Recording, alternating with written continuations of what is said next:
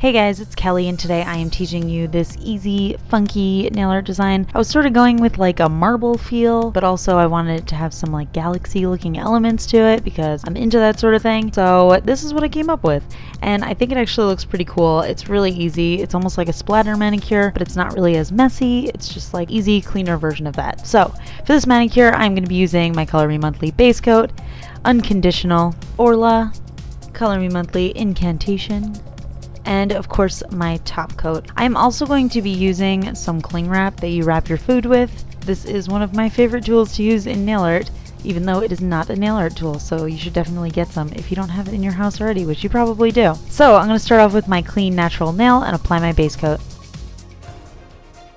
Once that's dry, I'm going to go in with a quick coat of my white nail polish. You can actually use whatever color scheme you want for this manicure and it'll probably end up looking really cool. I would say that you should use your lightest color first. I'm also going to be putting some liquid latex around my nail. This isn't a very messy nail art look, but if you want to protect your skin and keep it from drying out from the nail polish remover, then you might want to get some liquid latex. I am using a brand that I got from Amazon. I have a whole video about it. I will put that in the cards and I will link this product in the description. So now I'm just going to take a crumbled up little piece of my saran wrap and I'm going to take like a little scrap piece of paper, which is what I usually put all of my product on and I'm going to do a swipe of each of the three polishes that I'm using for this manicure and I'm going to sort of just put them in a row. It doesn't have to be in a row, honestly, like I was testing around with doing spots, but I really ended up liking the way that it looks in a row. And I'm just going to dip my saran wrap in there and then I'm going to lightly dip that onto my nail.